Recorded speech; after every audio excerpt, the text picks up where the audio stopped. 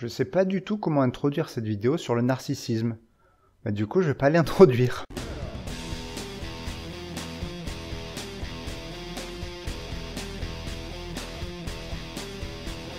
Alors le narcissisme, c'est un truc dont on parle depuis la nuit des temps, sauf qu'on a un petit problème pour l'étudier scientifiquement, c'est qu'un narcissique qui va avoir un psy pour le dire qu'il a un problème, ça court pas les rues. Du coup, même si c'est un sujet important, en fait, c'est qu'à partir qu'il y a 20-30 ans qu'on a essayé vraiment d'étudier ce que c'était vraiment le narcissisme. Et là, du coup, ben, dans cette vidéo, tu vas surtout voir qu'il y a beaucoup de choses qu'on sait pas. Bon, évidemment, tu vas apprendre des choses, mais il y a plein de mystères encore à résoudre. Et comme c'est un sujet large, on va commencer par bien définir ce qu'est quelqu'un qui est atteint de ce trouble et aussi définir ce dont on ne va pas parler aujourd'hui. Donc une personne pathologiquement narcissique, elle a plusieurs caractéristiques. Déjà, il a une vision de lui-même excessivement positive. Il peut surestimer ses capacités, penser que les autres l'envient, avoir des délires de grandeur ou idéaliser sa vie. Ensuite, cette vision peut aller jusqu'au fait que le narcissique considère avoir plus de droits que les autres êtres humains et pense qu'il doit bénéficier d'un traitement de faveur par rapport aux autres. Bref, la personne a une estime d'elle très élevée, au-dessus de la moyenne, et se pense au-dessus des autres. Et on remarque aussi un rapport aux autres biaisé, dans le sens où la personne peut sentir le besoin d'être admirée par les autres, et va surtout les considérer comme inférieurs, ce qui va entraîner des comportements arrogants ou hautains, un manque d'empathie pour son prochain, et dans les pires des cas, il va utiliser les autres pour obtenir ce qu'il veut. En général, des retours positifs sur lui-même. Donc ici, on a la simple description des symptômes. Et avant de penser à l'explication de la maladie, on va bien préciser de quoi je vais parler. Alors ça va être un peu long, mais ça me paraît essentiel pour qu'on évite que les gens passent à côté de la vidéo. Le premier point, c'est qu'il faut différencier le narcissisme, qui est le fait d'avoir une opinion de toi surestimée, et le trouble de la personnalité narcissique. Il y a un point très important quand tu diagnostiques quelqu'un d'un trouble de la personnalité, c'est celui-là. C'est qu'il faut que la souffrance soit significative, que le fonctionnement de la personne soit altéré dans plusieurs domaines de sa vie. La conséquence, c'est que toutes les personnes cochant les cases d'une maladie n'ont pas forcément une pathologie psy. Par exemple, une personne qui a une haute estime de lui parce que c'est un enfant roi et que sa vie est peinard parce qu'il a le droit d'être un chef d'entreprise à la con, ne rentre pas dans ce dont on va parler aujourd'hui. Un mec aussi d'une famille aisée, qui était adapté à l'école, à qui on a eu le fric de payer des écoles supérieures ou le réseau pour avancer, et qui finit par cracher sur les gens de catégorie sociale inférieure, c'est pas un mec pathologiquement narcissique, c'est un homme politique. Donc aujourd'hui, on parlera de narcissisme en tant que pathologie, c'est-à-dire quand ce narcissisme fait souffrir et détruire la personne, pas quand elle est juste un fonctionnement normal dans un environnement donné où la personne est bien adaptée. Deuxième point, si tu traînes un peu sur le net et dans les magazines féminins, mais allons, ce dont tu me décris là, le personne là, qui utilise les autres, qui se pense supérieur, qui veut que du retour positif, c'est le pervers narcissique dont on parle tout le temps sur internet. Alors c'est quoi la différence entre ce que tu racontes et les pervers narcissiques? Eh ben je te dirais qu'en fait j'en sais rien, parce qu'en fait ben, le pervers narcissique, ben, il n'y a aucune définition médicale ou scientifique du terme. Du coup en fait tu fous ce que tu veux dans ce terme.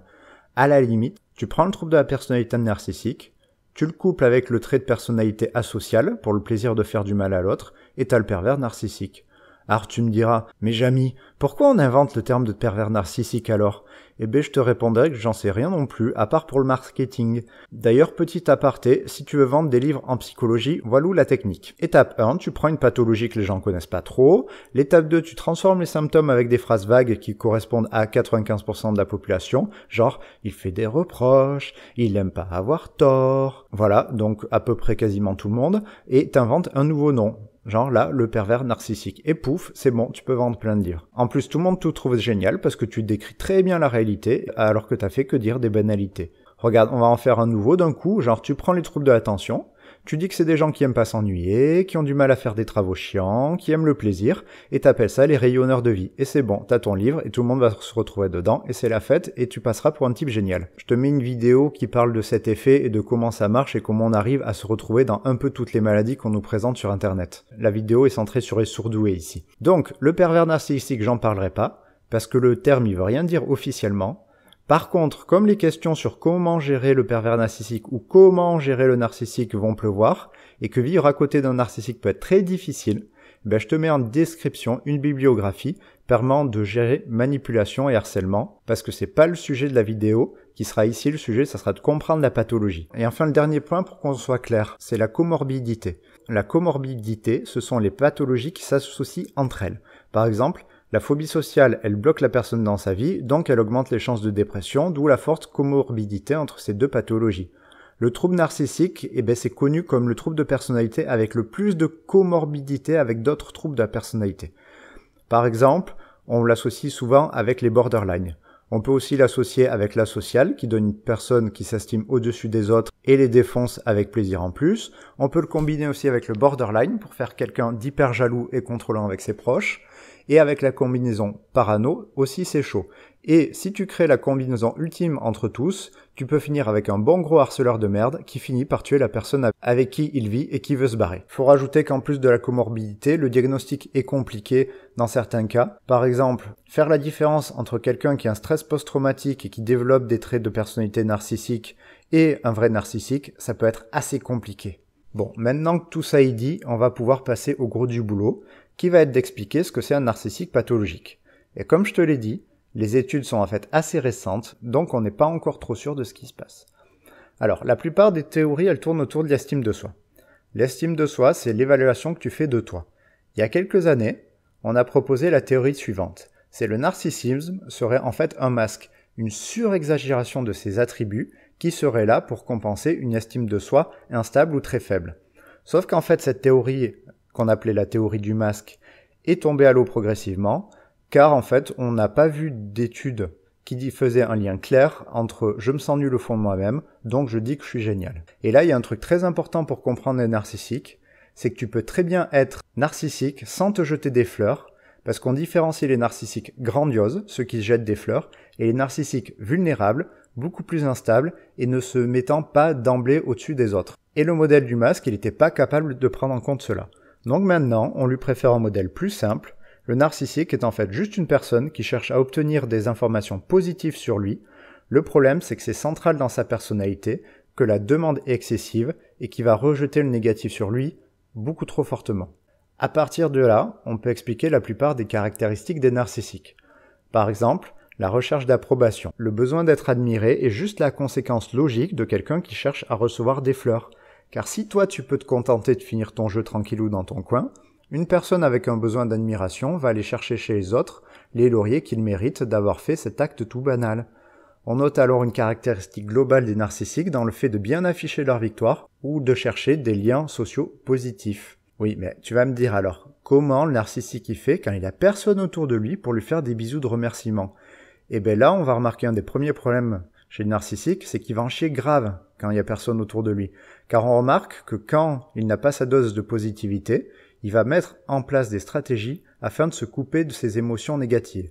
Par exemple avec de l'alcool, en surinvestissant le sport, en faisant plein d'actions associatives, ce qui fout en fait de la merde dans sa vie, parce que si tu n'affrontes pas le négatif de ta vie, si tu résous pas les problèmes, tu augmentes le négatif et tu t'enfonces de plus en plus dans le mal-être. Ou pire, dans le contrôle des autres. Parce que si le narcissique, c'était juste quelqu'un qui cherchait l'approbation des autres et les retours positifs, en souffrant quand il n'y en a pas. Ça serait tranquille, ça serait juste quelqu'un avec des problèmes d'estime de soi. Là où le narcissique pathologique est dérangeant, c'est les moyens qu'il est capable de mettre en œuvre pour obtenir cela. Le recherche de positif et l'évitement du négatif étant sa priorité numéro un, il passera ça au-dessus des relations humaines ou de la morale. D'où le fait d'utiliser les autres pour avoir ce qu'il veut. Et puis, qu'est-ce qui va arriver quand le narcissique, qui s'attend à être admiré par les autres, se retrouve devant une personne qui le contredit, ou lui fait un reproche? Eh bien, le risque, c'est que le narcissique mette en place un système pour se protéger du négatif, donc il va possiblement être de mauvaise foi, s'énerver pour rien, et aller jusqu'à des grosses crises de rage pour faire taire l'autre qui lui dit du négatif. Et c'est là que les relations sociales du narcissique vont se flinguer car dans l'intimité, c'est difficile de construire quelque chose sans s'adapter à l'autre au fil des discussions. D'autant plus qu'une personne qui vit avec toi, elle est plus prompte à percevoir tes défauts et te faire des remarques, ce qui est difficile à intégrer pour quelqu'un souhaitant renvoyer une image parfaite et n'avoir que des compliments. Il est donc difficile de vivre avec un narcissique, dans le sens où la discussion va être compliquée, lui bloquant la conversation de manière plus ou moins violente. Et pour éviter que ma vidéo finisse comme sur les vidéos sur les pervers narcissiques, non, une personne qui prend mal les reproches n'est pas forcément narcissique. Le diagnostic, c'est un psy qui le fait. C'est peut-être juste, par exemple, que la personne est chiante à faire un reproche toutes les 10 minutes et que l'autre en a ras le cul. Donc ça, c'est les caractéristiques qu'on connaît bien du narcissique. Il y en a où les études sont un peu moins claires. Par exemple, le manque d'empathie. On a remarqué ça chez beaucoup de narcissiques et ça pourrait être dû juste au fait que le narcissique est centré sur soi et n'est intéressé que par les remarques négatives sur lui. Il y a deux types d'empathie. On peut par exemple très bien comprendre qu'une personne qui a un cancer, elle soit triste. Ça, c'est l'empathie cognitive. C'est qu'on comprend intellectuellement. Mais on peut s'en foutre. Et ça, c'est le manque d'empathie émotionnelle. Apparemment, les narcissiques, ils auraient la première, ils peuvent comprendre les gens, mais pas la deuxième. C'est-à-dire, ils peuvent les comprendre, mais ils s'en foutent. Et encore, là, les études, elles se contredisent toutes, parce qu'il y en a qui disent qu'en fait, l'empathie est normale chez les narcissiques, sauf pour des sentiments négatifs comme la peur ou le dégoût. Bref, on n'en sait pas encore grand-chose. Une autre chose qu'on pensait être sûr, mais on commence à douter, c'est la honte que ressent le narcissique quand on lui fait une remarque. Apparemment, c'était important que ça soit présent pour diagnostiquer un narcissique avant, maintenant ça l'est plus du tout.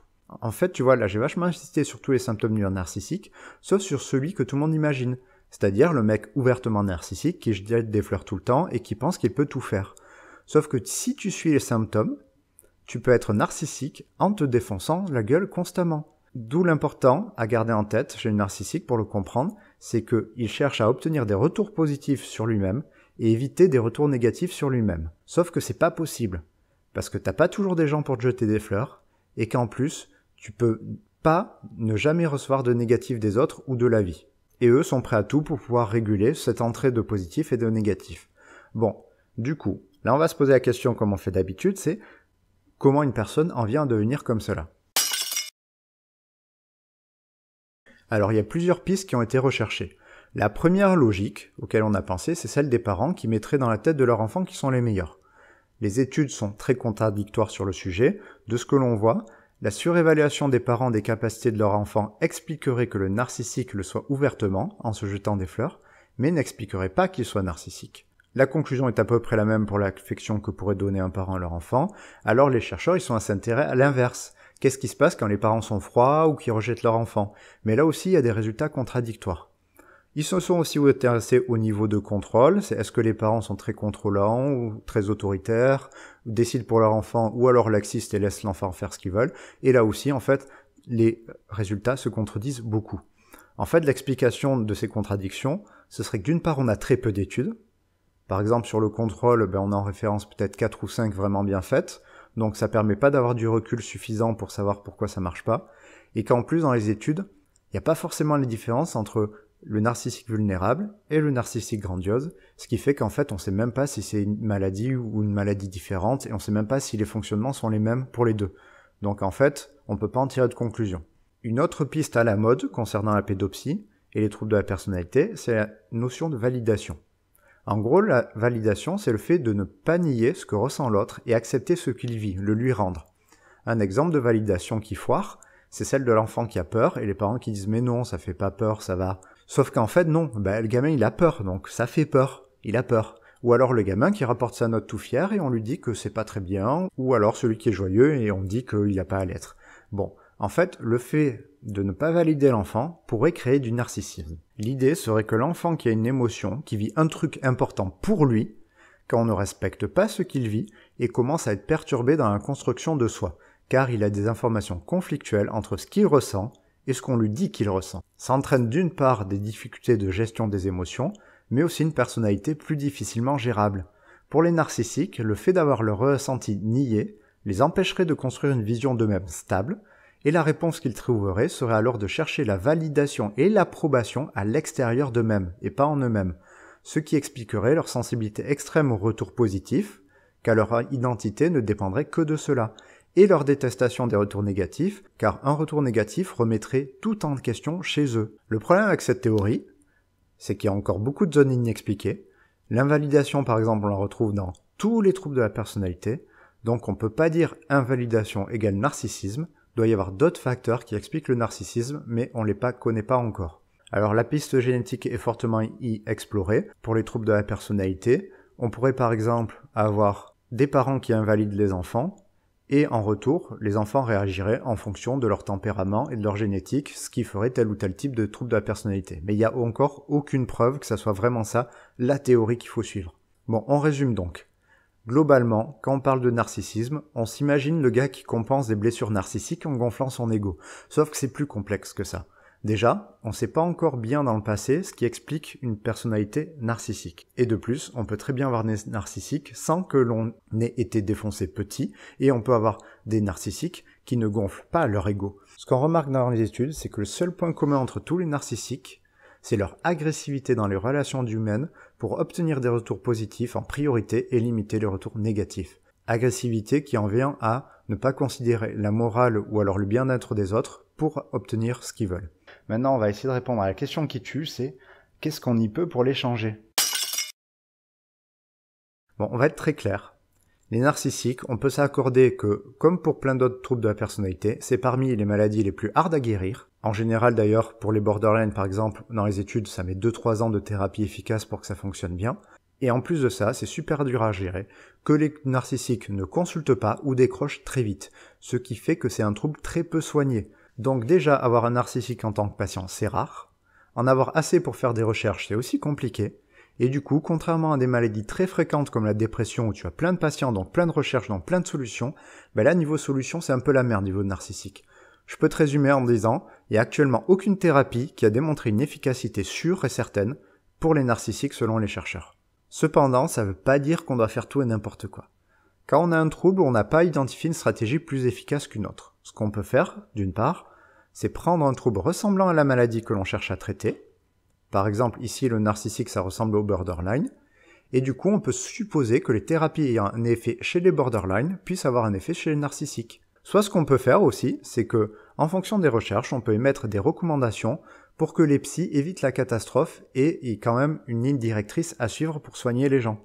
Donc dans cette vidéo, je veux au moins te faire une liste de quelques recommandations qu'on utilise pour gérer un narcissique. Et attention bien, je parle pas de se défendre du narcissique, je parle ici de le soigner. Pour se défendre, tu auras les bibliographies en bas. Donc première recommandation, être bon dans le diagnostic et savoir déchirer pour faire le diagnostic. Donc comme je te l'ai dit, narcissique, il a souvent des maladies associées, donc tu dois être, si t'es psy, à l'aise avec les différents diagnostics et les interactions entre eux. Tout peine de tout confondre et de faire n'importe quoi dans tous les sens. Ce qui est bien par contre, avec le fait qu'il y ait plusieurs maladies associées au narcissique, c'est que les autres problèmes peuvent être utilisés pour faire accrocher le narcissique à un traitement. En s'attaquant par exemple à la dépression au départ, tu peux déjà commencer à faire des liens sur le narcissisme et en quoi ça agit sur la dépression pour l'amener sur le tapis progressivement. Évidemment, balancer dès le deuxième rendez-vous vous êtes narcissique, c'est complètement con. Il n'y a rien de mieux pour tout faire foirer. Autre recommandation, c'est de bien différencier les deux sous-types, vulnérables et grandiose, pour pouvoir adapter la prise en charge. Après, il y a des techniques d'entretien que beaucoup de psys sont formés à faire, mais là on insiste sur le fait qu'il va pas falloir se planter. Par exemple, une technique basique qui marche bien avec les narcissiques, c'est d'utiliser ce que le patient dit pour pas le braquer. Par exemple, tu dis pas à un narcissique, bah, vu que tu te foires tes examens, tu peux réviser plus, je pense. Tu lui dis, bah, la dernière fois tu m'as dit que t'avais pas été bon, qu'est-ce que tu m'avais dit que tu voulais faire? Voilà. Bref, tu utilises le négatif qu'elle s'attribue pour aborder les sujets. Tu n'attribues pas toi-même du négatif. Dans le même style, juger la personne ou la remettre en question directement, c'est complètement con. Ça risque juste de le braquer. Donc on fait comme avec les alcooliques quand on doit leur faire comprendre qu'ils le sont. On prend son temps et ça peut bien prendre des mois ou des années. C'est normal. Il va falloir passer par les problèmes actuels du narcissique pour lui faire comprendre progressivement que c'est le narcissisme qui crée les problèmes qu'il a actuellement. Et enfin, en tant que psy, faut être hyper vigilant au fait que le patient soit collaboratif, donc que le courant doit bien passer, ce qui suppose d'être le plus honnête dans la relation. D'ailleurs, conseil global au patient, si tu sens que tu viens pour un problème et que tu sens que le psy est là pour autre chose, ou que tu comprends pas ce qu'il a en tête, pose-lui des questions directement, règle ça avant de continuer parce que c'est difficile de régler un problème quand deux personnes ne regardent pas dans la même direction. Et pour les psys qui gèrent les narcissiques, c'est là la difficulté. On sait très bien qu'ils sont narcissiques, on sait très bien que ça pose problème, mais eux sont là pour d'autres problèmes. Et donc il va falloir faire très gaffe à gérer cette différence de point de vue, alors que le narcissique n'est pas du tout là pour ça. Bon, tu remarqueras que mes recommandations, elles sont surtout pour les psys. D'ailleurs, je laisse un article qui en donne plein de recommandations pour les psys en bas dans la description. Eh bien c'est normal que je fasse que pour les psys, parce que déjà que les psys sont laissés seuls dans leur coin à gérer les narcissiques, comme ils peuvent, ils font ce qu'ils peuvent. Alors je te dirais que si tu es seul dans ton coin, sans formation, à essayer de soigner un narcissique seul, tu as peut-être plus de chances de finir mal que de le soigner correctement. C'est pas très réjouissant, mais je préfère être honnête, la recherche connaît pas grand chose des narcissiques, et c'est encore moins comment les soigner correctement actuellement. Voilà, maintenant tu as un peu toutes tes informations. Et si tu veux aller plus loin, je t'ai mis vraiment plein de bibliographies ici, en bas dans la description pour que tu ailles vraiment chercher ce que c'est le narcissique et voir si t'as pas des idées toi aussi pour savoir d'où ça vient. En attendant, ben, tu peux aller consulter plein de maladies dont c'est encore plus de choses dans les liens qui vont se apparaître vers à peu près vers ici ou vers là-bas, j'en sais rien. J'ai vraiment un problème avec ma gauche et ma droite. Voilà.